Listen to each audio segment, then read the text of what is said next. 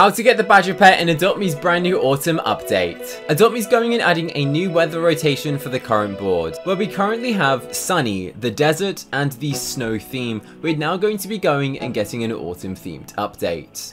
Just like how the weather works at the moment, the special weathers will go and last two days in the game. They're also going to be going and doing a whole map design featuring the same full colors that we went and saw in Halloween of the last update, but we're also going and getting this brand new building. As we can see in this screenshot, it says that you can shop here for 33 hours, 44 minutes, and 18 seconds. And there is two characters here. One is called Russell, which is a new character that you can go and speak to. And of course, there is the Badger pet, which is going to be purchasable. For some really good news, and I'll tell you in a second. In this brand new building, it's actually absolutely insane by the way. As we can see there's multiple layers, it's a giant library, and it's autumn themed. And let's have a look at what else is included. There is Russell, you can speak to him. There are some special toys. So it seems to be, um, this is a balloon or a propeller. I'm assuming that this is a balloon. I'm not sure how this is autumn themes. To be honest, this looks more like rainy, but you know, sure. Um, we also have a pet collar, which has some little leaves on it. This Is this a cinnamon roll? We got a cinnamon roll? That's really cool.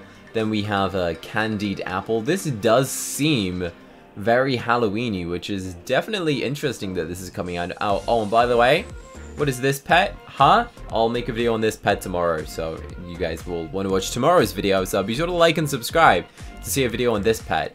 It's pretty cool. So there's also a brand new tractor vehicle, so that's cool if you like tractors, and this is the Badger posing right next to it. We got a nice view of the Badger in this, which is cool. Oh, there's some toys.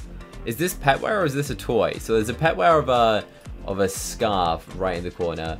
Then it seems like this maybe is like a toy instrument.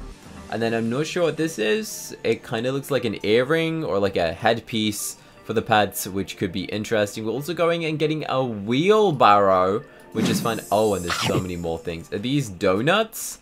Donut glasses, a pumpkin hat, a mushroom pogo stick, very nice. There must also be a mushroom hat because we saw that in the other day's video. So yeah, unfortunately I was wrong, it's not a skunk, it's a badger. I mean, the things do look very similar in terms of color and design.